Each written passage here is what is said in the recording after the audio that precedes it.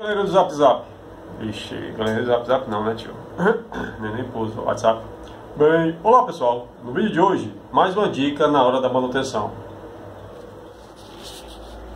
Pessoal, digamos que vocês foram fazer a manutenção em um sistema de CFTV e quem nunca fez um sistema que quando você termina as câmeras continuam com algumas senoides. Obviamente que o sinal melhora, mas a qualidade não é a mesma de um sistema novo. Né? Você trocou o cabo ou trocou apenas os conectores, porque o cabo estava em ótimas condições, mas existe ainda algum chuviscado, algumas senoides na imagem, ok? A imagem não está plena, não está limpa.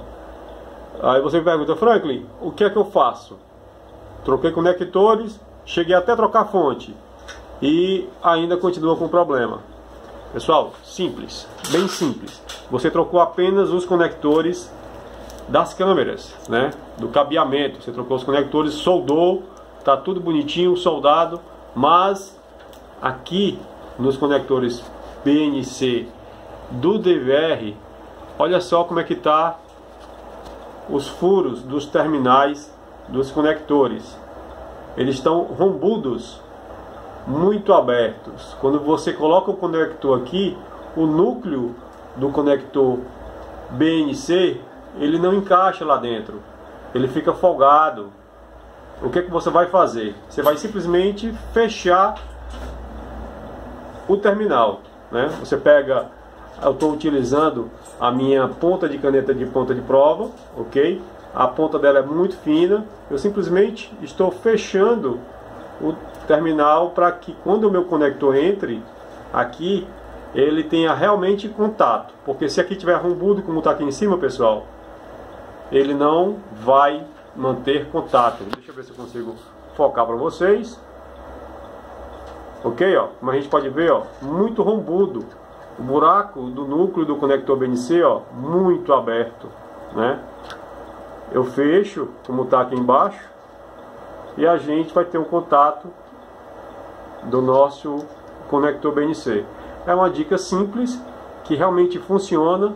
Você vai deixar de ter aquele problema. E outra dica para complementar é se você tiver WD-40, pode colocar um pouquinho de spray WD-40 que vai ajudar a tirar algumas oxidações caso tenha nos terminais dos conectores.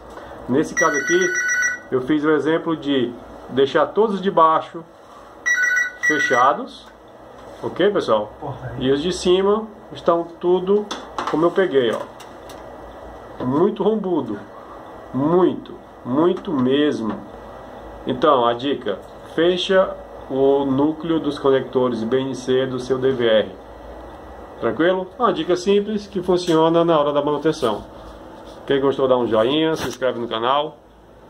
Valeu pessoal!